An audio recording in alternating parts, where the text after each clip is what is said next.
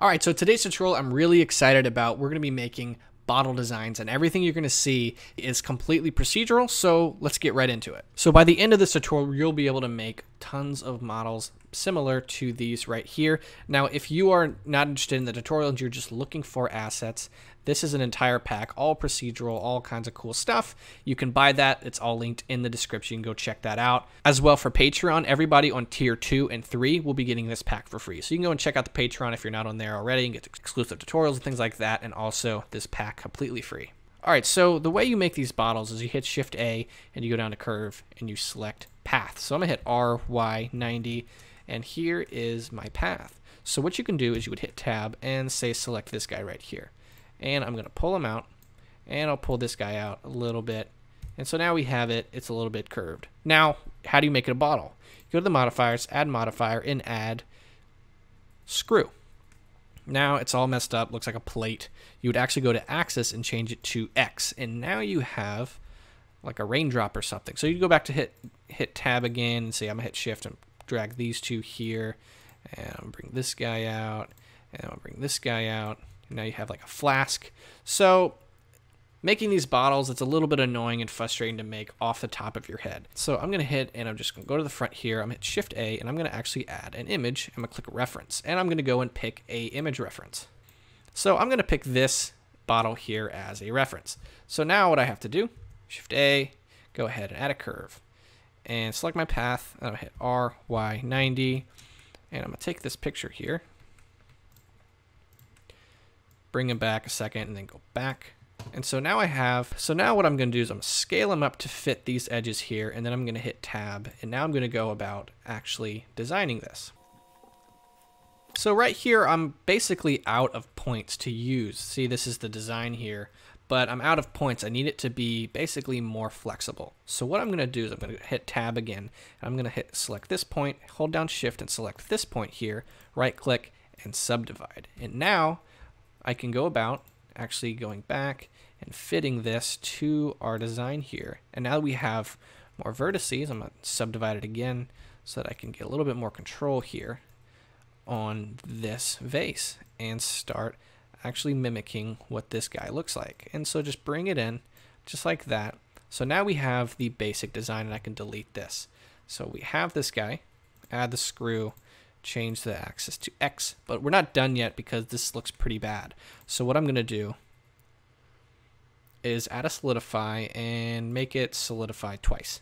And then I'm going to add a subdivision surface and I'm going to put the viewport at 2. So now we have this guy. The bottom is open. So we're going to go back to tab and what I always do is I click this one right here and, and I'm going to hit E for extrude, E and then Z to just bring it straight down, E, Z one more time and hit EX and I bring it in just like that and now the bottom is closed off.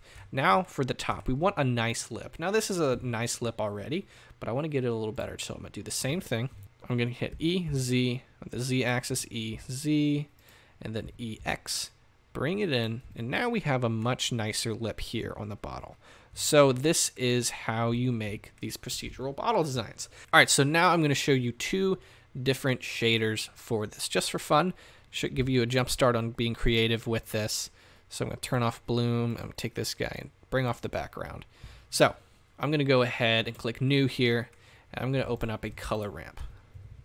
Add the color ramp right here. So I'm going to hit this plus icon to get a guy in the middle. And I'm going to, I'm going to get a fairly dark color. So I'm going to go ahead with a nice orange or brown look, looking bring it up and say, bring it about that dark. And then I'm going to go to the hex here and I'm going to hit Control C, copy the hex, and paste that hex code on the last one.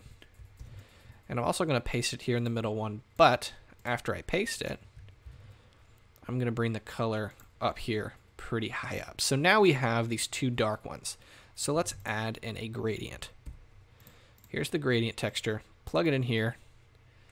And now we have the dark here, the dark up here, and the dark in the middle. And then we can go in and we can tighten that. Now this is cool all on its own, but I want to go farther with this. I want to go farther with this and add some bump action. So I'm going to add a bump node right here. Put that there. I'm going to add a color ramp. Plug that here to the height. Let's add a noise. Now, if you have the Node Wrangler add-on selected, you can hit Control T, add a quick texture setup, and I'm going to switch it to the object coordinate here.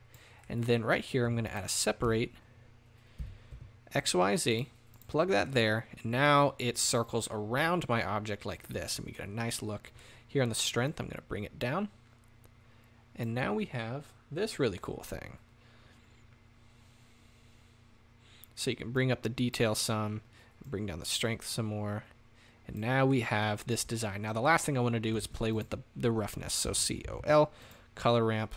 Let's add the color ramp here to the roughness and add this noise texture to that color ramp. Now let's just bring in the black portion just like this so we can just tighten it up. So we can just tighten it up. Now we have a little bit of fun happening here. Now let's light this guy. So let's bring him up to the bottom and let's add in a simple cube and bring it down just like that. So now we have the cube and I'm going to shift A, add my camera just like this. And for the camera, I like to go to the camera settings down here and add an 85 millimeter lens, zoom this guy out and bring it up. Now I'm going to go ahead and add in a background RX90 to flip him back Go back here. And we're going to scale it all the way up. So now we have this. I'm actually bring it farther back because I know what I'm going to do here with the lighting really quick. So I'm going to stay here in cycles for the cycles engine. And let's go ahead and add in a light. So we're going to add an area light. Bring it all the way up here and scale it up pretty far.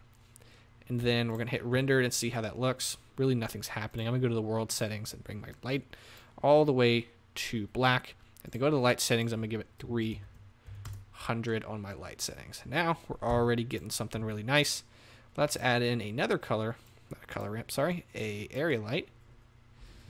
And I'll just bring him, I'm gonna bring this guy this direction. If you hit R twice, you can try to rotate these lights wherever you want. And I'm gonna give this a strength of 300 as well. I'm gonna give this guy over here, scale him up just a tad bit more.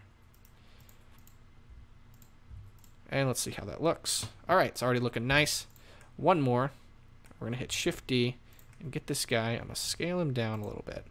Hit R twice to make him point. And I want to have a really bright light here in the back. So I'm going to actually take this guy and I'm going to scale him up this direction. And I'm going to give him a strength of 1,000 because I want a really skinny I want a skinny but very, very bright light hitting this highlight here on the back of the vase. Just like this. It's kind of overpowering my background here. It's hitting it. I don't like that, so I'm going to bring him back some more.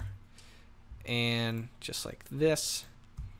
So now we have a really bright highlight here, and then some nice lights go in this direction. They're not quite bright enough for me. Um, so I'm going to go here. I'm going to give it a strength of 500 and render that and the one above of course give it a strength of 500 as well. And now we have this setup right here. And it looks really really nice. Here in the background we're just going to give it a simple dark shader. And we're going to put that same shader here on the box. And now we have this simple lighting setup. Now I told you I was going to show you two shading setups. So I'm going to show you one more that's really cool that's fairly similar to this one, which is with that separate XYZ here. So I'm going to go to the lighting here. I'm going to click scene world, scene lights so that I can see what I'm working with. All right, so now I have the bottle. I'm going to just X out on this material and I'm going to create a new one. Plug this here and I'm going to go with a nice green right in this area. Probably look bad, maybe around there. And Control C, whoops. So I'm Control C and copy this hex. And then we're going to add another one. So what I'm going to do is I'm going to Control paste that green in there, but make it pretty dark. So we have a lighter version, a darker version, and then a white. So now what I want to do is same thing, is add a noise add this noise texture right here. And I'm to hit Control T to add that texture setup and put it in the object coordinate here. All right, now I'm going to add a gradient. Gradient texture here, plug this vector into here, add a mix RGB, and plug this gradient texture into this. Now, before I play with anything more, now so now we already have one cool shader. Yet you could actually stop here. One thing I'm going to do, one thing I'm going to do real quick is bring my roughness all the way down. So now we already have a really cool, really nice shader. But I'm not done yet. What I'm going to do next here is on the noise texture, add a separate XYZ right here and plug it right here in the noise line.